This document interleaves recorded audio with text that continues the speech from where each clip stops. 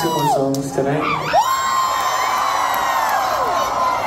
Been quite the evening. Thanks for sharing with us. I hope you come back.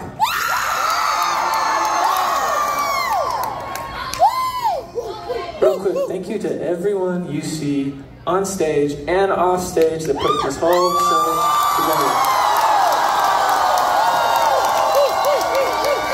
Thank you to Tessa Violet for opening. Thank you to Doug Lawrence for opening. Thank you for coming, for bringing your screams and your dances and your ooh ooh oohs.